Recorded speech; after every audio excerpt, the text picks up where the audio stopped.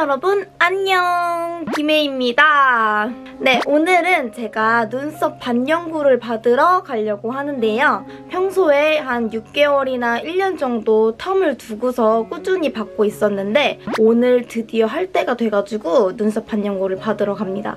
근데 독특하게도 제가 가는 이곳은 관상학을 적용해가지고 내 얼굴에 맞는 눈썹을 만들어준다고 하시더라고요. 어 그래서 혹해가지고 갑니다. 아 그리고 제 하나의 꿀팁. 이건 그냥 저만의 꿀팁일 수도 있는데 저는 이제 반영구 시술을 받으러 가는 날에는 무조건 이제 모자를 쓰고 가거나 아니면 이렇게 후드나 후드 집업을 입고 갑니다. 그 이유는 이게 시술을 받을 때 앞머리를 다 까고 받게 되고 여러 가지 색소들을 묻혀주시니까 얼굴이 난장판이 되거든요. 그래서 저는 그걸 가리기 위해서 모자나 후드 이렇게 쓰고 마스크를 착용을 한 다음에 그렇게 집에 오고 있습니다.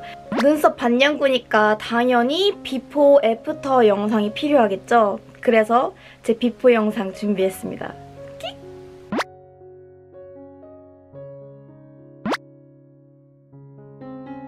눈썹 반영구를 받으러 가볼까요? after go go 그냥 본인한테 어쨌든 맞는 그쵸, 네, 그쵸. 미적으로 잘 어울리는 게 관상적으로 좋은 거. 아 그러면 이 관상으로 이제 눈썹 바뀌고 돈 더 벌 수 있나요? 믿고, 가- 믿고 가면 되나요? 아, 예, 믿으셔도 그러면 되는데. 돈 안 들어오면 여기 책임으로 하면 되나요?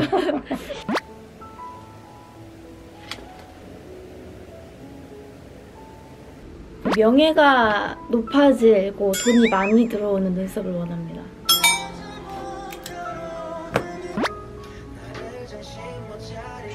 일단은 시작 전에 눈썹을 그렸는데 여기는 원래 제가 1년 전에 그렸던 눈썹 모양대로 해주셨고 여기는 쌤이 알아서 맞춰서 해주신 건데 저는 이걸 픽하겠습니다.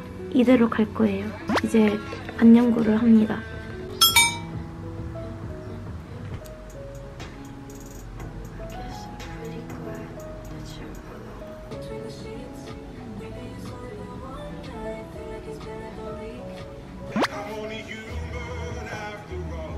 색소 바르고 좀 있어야 돼요.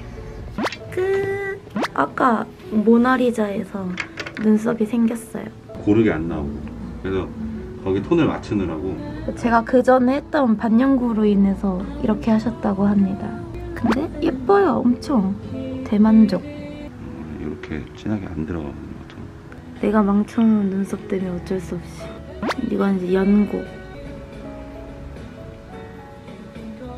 네, 여러분. 저는 반영구를 성공적으로 받고 집에 왔습니다. 아, 진짜 너무나도 만족스러워요. 진짜 대만족. 제가 지금까지 받아봤던 반영구 중에서 제일 제일 만족스러운 결과물이었던 것 같고 그리고 심지어 선생님이 굉장히 섬세하십니다.